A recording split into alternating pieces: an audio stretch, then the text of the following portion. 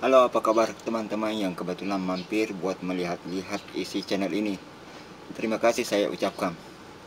Oh ya teman-teman kali ini saya akan memainkan game cacing yang bernama Worm Zone. Iyo yang mana game ini sudah lama keluarnya.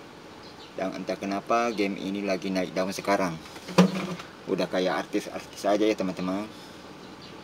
Oh ya teman-teman saya juga punya kabar buruk nih. Pada tanggal 25 Februari saya buka email dan mendapatkan surat dari YouTube yang kurang lebih isinya seperti ini. Dan setelah saya terjemahkan ke bahasa Indonesia, artinya saluran Anda tidak berhak lagi untuk dimonetisasi karena konten yang digunakan ulang. Dan saya nggak tahu konten mana itu. Apa mungkin karena saya pernah mereview stick Xbox? Kemudian tanggal 25 Februari saya upload konten yang berjudul buka box stick Xbox 360 dan setelah konten itu saya upload tidak lama kemudian saya mendapatkan swirl itu. Sekedar teman-teman tahu sebenarnya saya sangat malas bekerja sama dengan Google. Karena saya sering di PHP-ing seperti beberapa tahun lalu saat itu saya masih bikin-bikin website dan ngeblog. Yang mana website ini saya monetis juga dengan menggunakan AdMob Awalnya sih oke-oke saja, dan saya juga puas dengan hasil yang didapat. Tetapi semenjak AdMob dibeli atau diakuisisi oleh Google, banyak sekali perubahan yang dilakukan secara sepihak. Karena memang suka-suka dia lah. Tapi saat itu saya masih oke-oke aja, karena nggak terlalu berpengaruh dengan penghasilan saya. Namun seiring berjalannya waktu, AdMob pun makin lama aturannya terus diupdate. Diupdate sampai saya meninggalkannya dan menyisakan saldo dari hasil website saya. Dan setelah dua tahun berlalu, earning itu, earning atau pendapatan saya yang berada di dashboard AdMob pun hilang. Waktu itu saya belum melakukan penarikan karena masih belum mencapai batas penarikan.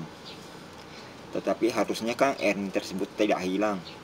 Dan sekarang saya coba login lagi di AdMob, sudah nggak bisa lagi teman-teman. Itulah kehebatan Google pemirsa, dan saya nggak bisa berbuat apa-apa. AdSense juga begitu. Beberapa tahun lalu Indonesia pernah dibandar massal oleh Google Ads.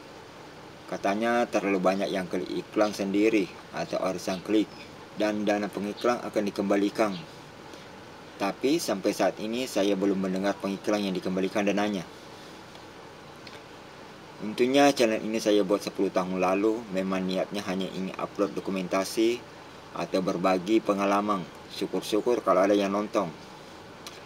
Belakangan saya baru coba mengajukan lamar ke Google. Meskipun awalnya saya mengajukan channel ini nggak terlalu berharap banyak. Karena memang saya sudah tahu sifat-sifat Google Ads ini. Tetapi anehnya channel ini keterima. Dan persis sebulan ya Dapat deh seperti yang saya bahas tadi. Saya akan coba tunggu sebulan Baru mencoba mendaftar ulang Apakah bisa diterima atau tidak? Yang jelas selama channel ini tidak dihapus oleh Google Saya akan terus upload di channel ini. Walaupun channel ini ditolak Toh niat awal bikinnya bukan untuk memonetize. Hanya memang ada beberapa Dan memang ada beberapa video yang saya set tidak publik Karena konten hanya bersifat pribadi. Oke teman-teman kita memainkan game Cacing Alaska ini.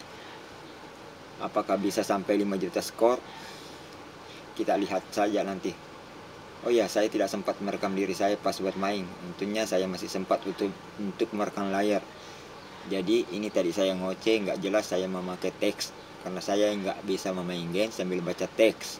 Nanti bisa-bisa nabrak cacingnya ya. Hehe. Salam.